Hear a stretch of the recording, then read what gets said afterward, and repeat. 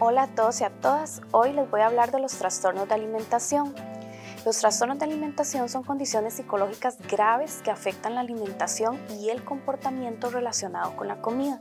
Estos trastornos involucran una preocupación excesiva por el peso corporal, la forma y el control de la alimentación y esto resulta en patrones anormales de la alimentación que pueden dañar la salud física, emocional y mental de una persona. Algunos de los trastornos de alimentación más comunes son la anorexia nerviosa, que se caracteriza por una restricción extrema de la ingesta de alimentos debido a un temor intenso a ganar de peso. Las personas con anorexia pueden tener una percepción distorsionada de su cuerpo, pueden verse a sí mismas como gordas a pesar de estar significativamente bajas de peso. Esto puede llevar a problemas graves de salud y en casos extremos ser potencialmente mortal. La bulimia nerviosa involucra episodios recurrentes de ingesta excesiva de alimentos seguido por comportamientos compensatorios inapropiados como el vómito autoinducido, el abuso de laxantes o el ejercicio excesivo. Las personas con bulimia a menudo tienen preocupaciones intensos por el peso y la imagen corporal.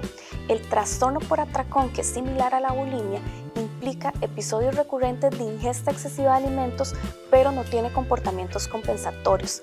Las personas con trastorno por atracón pueden sentir una falta de control durante estos episodios y luego experimentar vergüenza o culpa después de comer en exceso. Los trastornos de alimentación selectiva o restrictiva se caracterizan por la selección extremadamente limitada de alimentos o rechazo persistente de ciertos tipos de alimentos, lo que puede conducir a deficiencias nutricionales y dificultades para mantener un peso saludable. Los trastornos de alimentación pueden tener múltiples causas que incluyen factores genéticos, biológicos, psicológicos, sociales y culturales. La presión cultural para alcanzar ciertos estándares de belleza, los problemas de autoestima, la historia de dietas restrictivas, el estrés pueden contribuir a estos trastornos. El tratamiento de los trastornos de alimentación a menudo implica un enfoque multidisciplinario que incluye terapia psicológica, apoyo nutricional y asesoramiento médico y en algunos casos hospitalización.